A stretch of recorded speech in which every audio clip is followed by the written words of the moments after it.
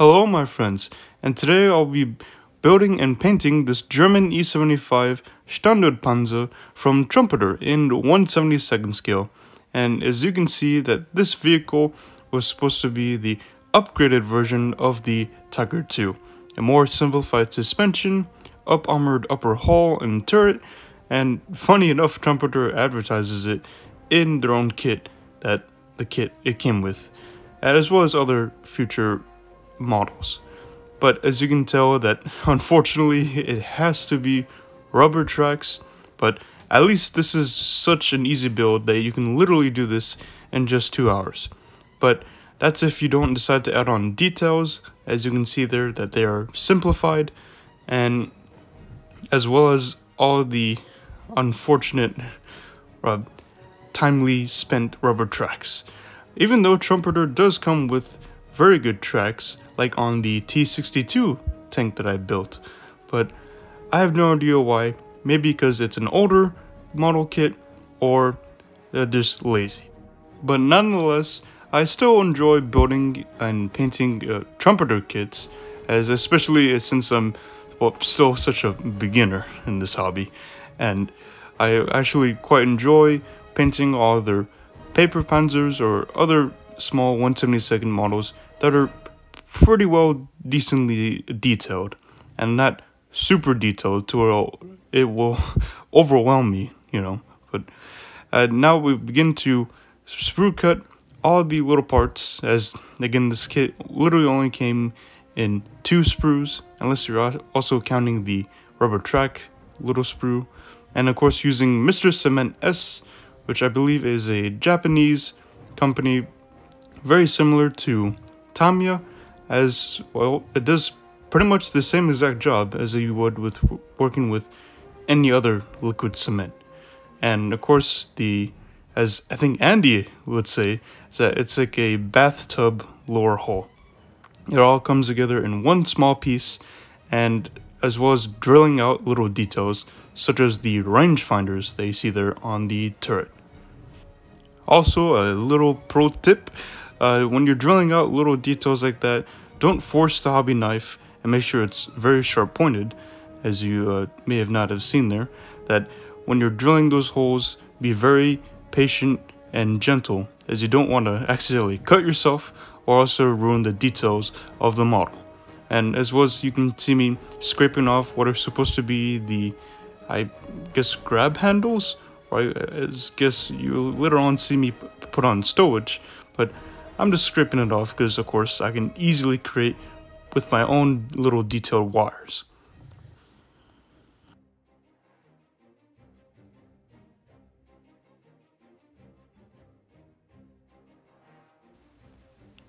I know, I probably should have sped this up, but uh, at least you see how much time it took me to very gently add the holes just for the little placements on the wires.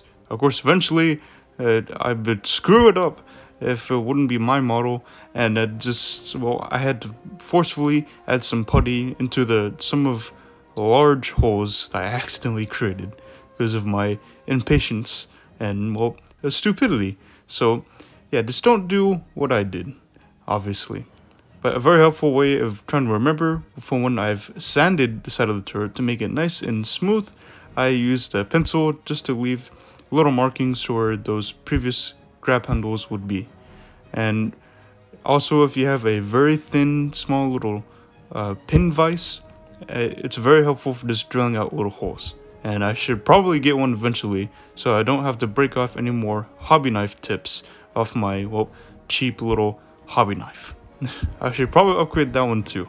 But here you can see me using a 2000 uh, sandpaper grit and it's also very flexible and not just a sanding file or stick.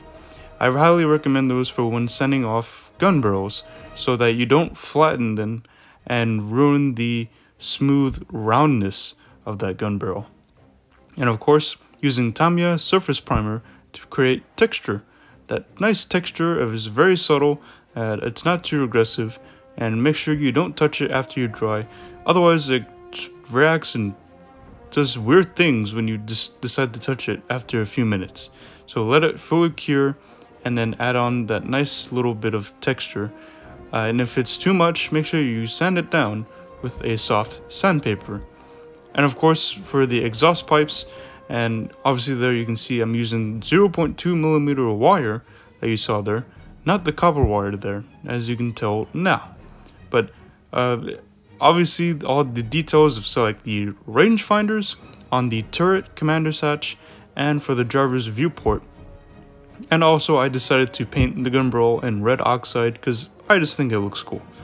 But of course, the tracks come from a model collect kit that were meant for an E50, so we'll just keep it a little secret and nobody else will know.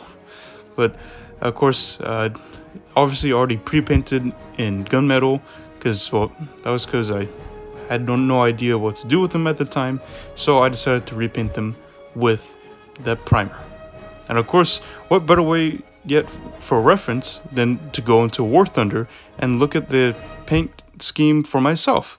Uh, looking at it from in-game and looking at all the details that I can pick up from this. Uh, especially when I want to at least try my best to replicate it from what I see in-game. But uh, mixing in sky blue and German gray in equal parts, uh, it'll eventually be toned down, of course, with all the weathering and dust and mud, but uh, you can also choose to make it even more desaturated, like a more subtle bluish gray. But again, it's entirely up to you, because well, this camouflage never existed, uh, only except for the fact that it's just a ambush tricolor uh, camouflage. But that's just it. so, uh, really, uh, I've decided to go more towards a route of uh, a little bit more on the blue tone, because well, personally, I love how blue and uh, saturated, really, it, it looks. And instead of the more desaturated, you know, militaristic look. Again, it's entirely up to you if you want to make it exact from what you see in game, but uh, I won't judge, of course. And I personally, I just love this kind of blue color, even though I actually like a lot of reds and greens. That was strange, but uh, as you can also tell, I'm using a crappy old frayed out brush just to get the basic paint job done. But honestly, I, you might tell later on that I made a mistake on not thinning down enough of some of my paints. This one came out you know, relatively thick because I well, was just thinking if I could just slap it on very quickly and move it around the model and then make sure it doesn't clump up around the areas. But I eventually added on too much layers because I then got stuck on trying to paint uh, the right camouflage. So don't get too hung up on that. And of course using German gray and light blue for if you're brush painting or airbrushing with Tamiya paints. So also these excellent, I highly recommend uh, life color paints of you know red, brown, uh, dunkelgelb, and oh man, I actually couldn't remember that one, but it was Anthrazitgrau Anthrazitgrau, uh, looking back at the, the footage, Anthrazitgrau, uh, probably just already butchering it enough, so uh, whatever. German gray, uh, light brown, and dunkelgelb, you know, red, brown, and then dark yellow. So I use those just to to paint the spare uh, areas. So like the dark yellow for the commander's hatch and for the other optic next to the rangefinder that you see on the right there and red brown for the as you see in game for the rangefinders as well as as well as the spotlight on the front of the hull. Uh, you can also use these colors to paint any other parts as you choose because again it just well, it never existed so you don't have to follow any other certain path as you choose. And as you can already tell, I already weathered one side of the hole hull already with the tracks and man yeah, I tell you, the tracks, I, you know, I, I hated them. I, they're not fun to put together. Uh, and I think I should have done it as I did with the E50 video, as I constructed them before I started painting them. So, yeah, lesson learned. But also you can tell that I'm painting German gray, which is really, it's it's practically black. It's so dark, but it's still very effective for just painting on little bits of details. But I recommend adding a little bit of white to when you're painting on with German gray. As course, uh, of course, using neutral gray for painting on those spare tracks, and using uh, Araki sand for the wood block, and also the neutral gray for other spare parts like the tow cables and the exhaust pipes that you see there, which if you didn't know are made from Q-tips or cotton buds, which I just snipped off both the ends and, and they were just made out of plastic. And of course, as we start the brush painting, as we've already done the base coat, and obviously I've already pre-weathered the upper surface of the hole as just to give me a good rough idea of how I can proceed to weather it, which you can hopefully get some tips for this that you don't have to stay along the guidelines of, you know, painting the base coat, uh, maybe painting the camouflage, and then doing the chipping and then varnish and weathering. It's all just not entirely necessary, even though it probably is most of the time. But you know, I just wanted to try something different. And of course, I tried the dotted camouflage, as you can see there, looking at from in-game, as it is dark spots over the light blue, and light blue spots over the dark gray. And eventually, this will all be toned down as uh, it's a very strong contrasting uh, blue, as you can tell there. Especially since the dust will eventually tone down all of that we have done.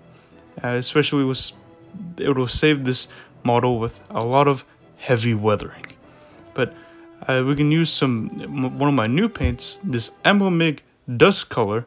I know, yeah, you really don't need it, but it's just something I wanted to try out from Ammo by Miguel uh, Jimenez, and a great way to create your own dust, as you may have not seen before, mixing a lot of white with khaki. And as you might remember this, I used this dry mud basically from spackle, which we have here in the US. Or maybe if you live in Europe, I mean, known as a gap filler for your walls. And it doesn't shrink, it holds together nice and firm when it dries. And personally, I love using this as my own mud, as it almost reminds me of when looking at uh, Adam Wilder's textured mud. But, you know, it's only workable after a few uh, minutes, as you can see here, as I tried to blend it and work with it. But all in all, it still actually came out pretty well, as I was satisfied with the end result. Of course, starting out with very light colors, from dust to the lighter mud, and to the darker mud. You know, looking at that from uh, Mr. Uncle Nightshift, of course. But uh, it's just something that I wanted to put together as well, you can also use mud from, you know, mud from, or dirt, for the instance, from your backyard, or using a nice little textured sand, or maybe even pigments, if you choose so. But it's all entirely up to you, and I just wanted to show you how I weather and add mud to my model. And of course, mixing in the dust with the mud will nice, nicely give us a good rough idea of where to start our initial uh, dry weathering stages. So I'll just let you enjoy me mix this together.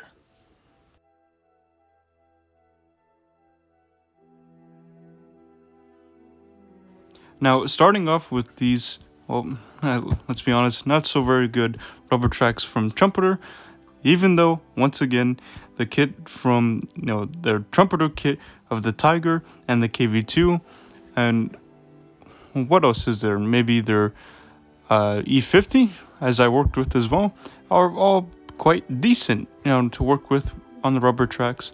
But I don't know, maybe I'm doing something wrong, and maybe one of you can point me out and let me know what I could do better for next time. But uh, I think I have it figured out, just so I don't ruin these tracks, as you might have noticed uh, towards the end here.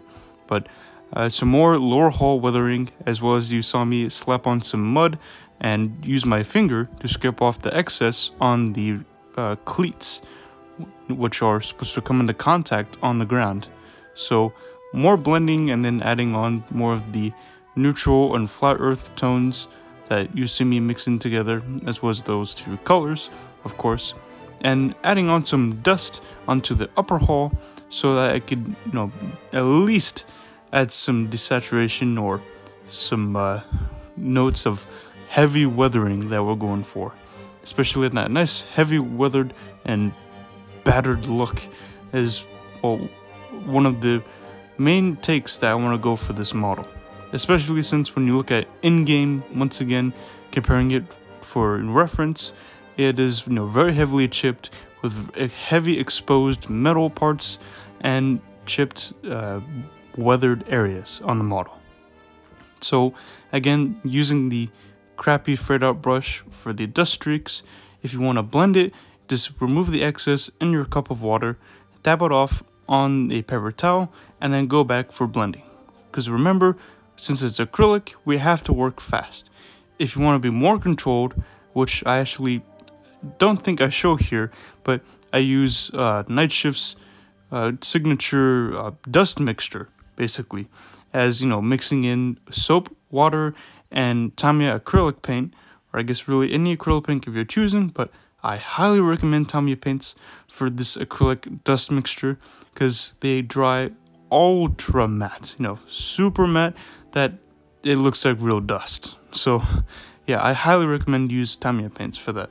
And I eventually use that as you can obviously tell in some parts on the final finished product of the model to where it's just very nice and eye appealing to when you see the contrast between the surface imperfection and the very matte dried dust.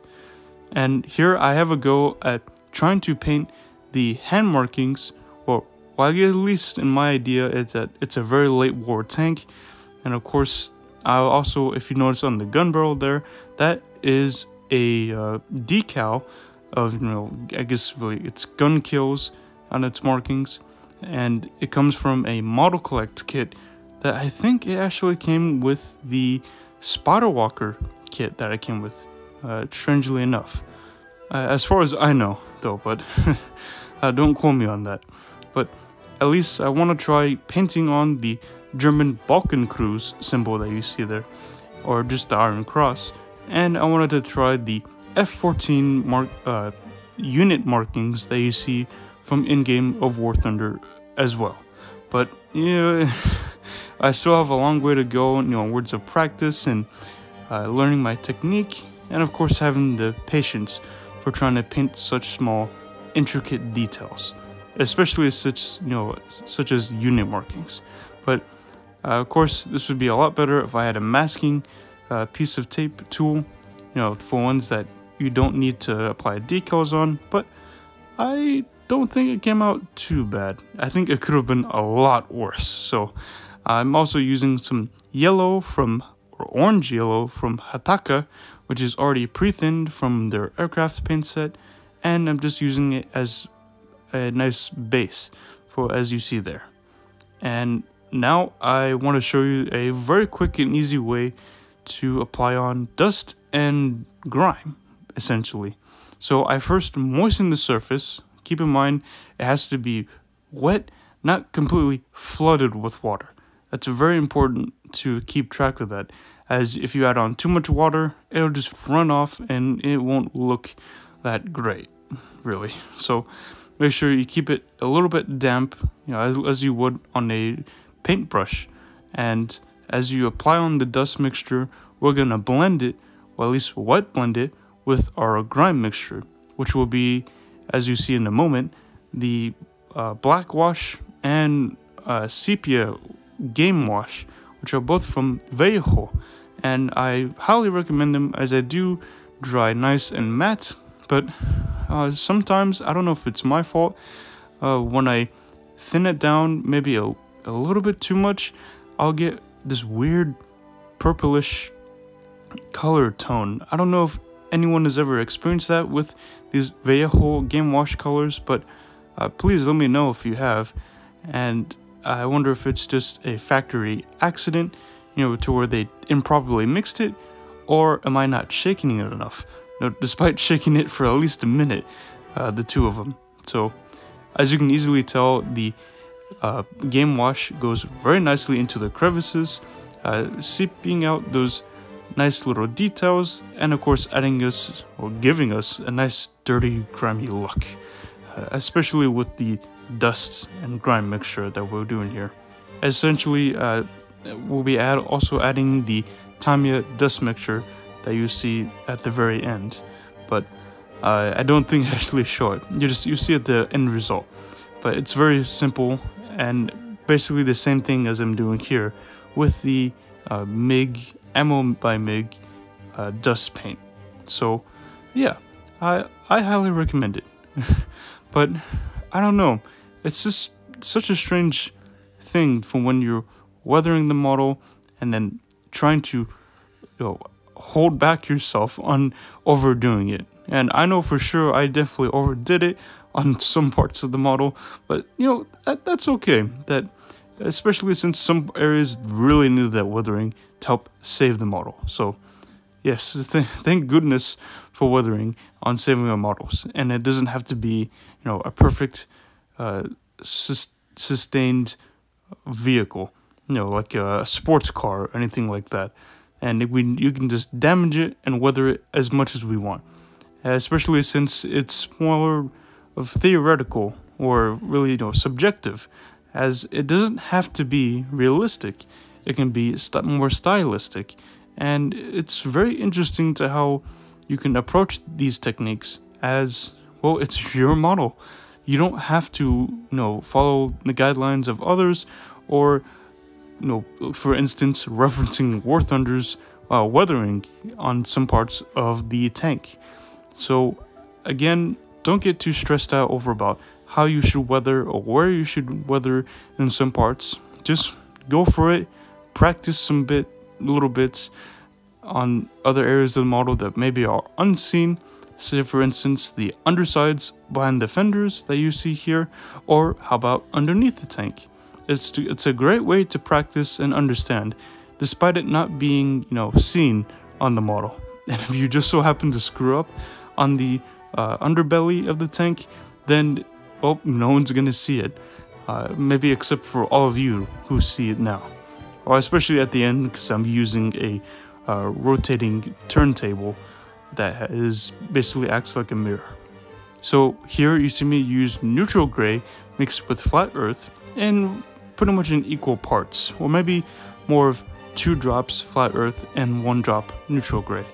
And it's a very great way just to blend it, as you see me here like once again doing the wet blending technique, moistening the surface, adding on the darker mud tones as you can see now, and of course if you want to make it look like maybe grease or other mud that has accumulated, that at least leaking down from underneath the tank, then just add some black and it'll nicely contrast on and highlight some of the details, uh, especially since most of it is just going to be covered by the suspension and the tracks. So as you can see here, you can use tell that I use sky gray, flat earth, and neutral gray, as I was telling you earlier. And there are great ways of just creating nice speckle effects or flecking on the paint with this life color acrylic thinner, which really you can use almost any acrylic thinner as long as it, as it gives you a matte finish. It flows more nicely than what you would use with water. But honestly, you can just use water. I just wanted to experiment with this uh, life color acrylic thinner just to see what kind of result it would give me. And as you can see, I'm using Blu Tack just to stick on the the road wheels, the sprocket, and the idler wheel, and as well as using the toothpick method of giving us random variations of not adding too much, but maybe adding just the right amount of sky gray and flat earth in a random succession. So I I really had a lot of fun with this, as of course I think for most of us, weathering is one of our favorite parts of this hobby because we can do whatever we want, uh, wherever we want, and however we want. I know it's just it's just too much fun. I I just can't have enough of it, And I think that's one of my main issues right now is that I get too carried away with overdoing it with some of my models on weathering it. No, I'm looking at you, T62, or maybe even KV2. so, yeah, I, I think I still have a lot to learn for when it comes to that. And also trying to find a good way to balance it in between not too weathered and more uh, evenly balanced.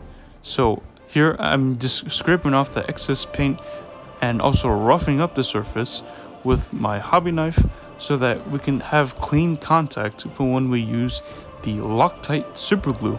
And once we apply that on and just a spare amount, you know, obviously not too much to where you glue your fingers together, as I've done before, uh, but it's actually uh, quite useful using this uh, brush applicated uh, super glue super glue that we can apply on for the rubber tracks. Uh, of course you can use uh, was it a, a not hot glue of course don't do hot glue. Use a heated sprue or actually a heated uh, metal tool so you can clamp on together these two parts and or you can use staples. I've, that is another cheap and easy way so that you don't have to worry about gluing your fingers or wasting any super glue. But here these rubber tracks wow. Uh, man, I feel bad for anyone who has to work on the E75 for their first time because I know I got incredibly frustrated from when I worked with the E50 Flak Panzer and the E100 and you'll know what I'm talking about if you've seen my Instagram which, you know, go check it out. I highly recommend it. I have some nice, uh, cool, exclusive photos on there. And uh, back to this then, but the sprocket on this, well, I at first you see me fail here. I tried to apply on the sprocket into the correct position with super glue, but it just ended up not working, and I just just don't do do as I say and not as I do, of course. And a great way to, if you've already had the tracks put together, assembled, and weathered, you want to have the tracks in place before, and then you can place the sprocket so that you don't struggle to rip off any of the paint. Because remember, keep in mind, it's only acrylic paint, and it's not going to stay on there as we don't have an airbrush. Even if I was to prime it, say like with my AK black primer or my uh, Tamiya red brown primer i man i i don't even know what to do with it so if if anyone knows a great way to prime or work with you know these vinyl rubber tracks please let me know because i i have no idea how i can work with these. The only way i can think of it is again pre-assembling it how i did it on the e50 and just keeping it like that as it made it a thousand times easier than from when it was than you know if I showed you here on this E75 which I'm glad I didn't. So just if anyone is going for this kit I don't recommend it just for the fact that it has those terrible rubber tracks but if you do want to go for it and you know follow along with what I did and I'm sure even do a better job than what I did on this tank uh, especially with those tracks, then go for it. I think you'll still have a great time and a lot of fun, as this is literally just a weekend build. Build it in one day, uh, paint the whole paint job the next day, and weather it on the third day. You know, hence the weekend. So, applying on these, I know we're jumping back and forth, but with applying on these uh, dry mud effect, as you can see, it's a little bit more yellowish because it's actually mixed with a sky gray and desert yellowish tone. But of course, all of that won't matter because it's only meant to give us texture here. So I recommend that you don't really bother with the textured mud uh, unless you're being very specific, then that's fine. And of course, the same exact thing that we did with the tracks and the road wheels, applying on lighter tones with the dust color for and then with the light earth tone with uh, sky gray and flat earth, then neutral gray and flat earth, and then an option of your choice of black and flat earth. I know it's a lot of flat lifts, but uh, I just had to make sure that it made sense and it got to the point. And of course, you can see all the extra little details like the uh, rag that's on the side of the turret, the wires, and as well as the, uh, I believe, Kar 98 that's on the side of the turret that you see on the right there, and some other little jerry cans and canisters, and of course, other that big obvious drum barrel on the back of the tank for that extra fuel. And now for our uh, chipping color, we use dark rust to give us a nice edge chips, but I went for a more brownish tone. And of course, keep in mind that this is not rust. You could choose it to make your tank look rusty. Again, that's entirely up to you, but I also try to use German camouflage black brown as our other secondary chipping color. So again, it's entirely up to you on what you want for your model. Uh, here again, using another wet blending technique, I flood the surface with the road wheel. I use uh, from Life Color their mud and dirt set. I think actually mud and dust set. It comes with pigments and with the wet effects of light mud, uh, more of a reddish brown, and of course dark mud that you saw there. So uh, it's very effective for creating nice, greasy, or maybe sometimes uh, if you just mix black and brown, if you want to get those nice, greasy, matte effects. But mainly it's just the gloss. So if you buy that set, keep in mind that those acrylic paints are all glossy. And of course, something I picked up from Night Shift using the rust, light rust color that's more yellowish tone as it'll be toned down with another layer of dust that you see at the end there and it creates a nice uh, fuel stand effect or really grease stained effect that you see tanks out in the desert accumulate. I know if you've managed to listen to me this far, which I don't know how you've managed to, but thank you all so much, uh, especially since I can't wait to see my good friends uh, PlastikPanzerFactory's E75 and I can't wait to release more videos to you all more frequently as best I can, uh, especially for coming up to the end of Christmas. So it'll be my Christmas gift to you all, and I really can't thank you all enough for the support and the you know the love of this hobby and just having fun because you know what's the point of doing this if you're not having fun uh, thank you all and I will see you all next time.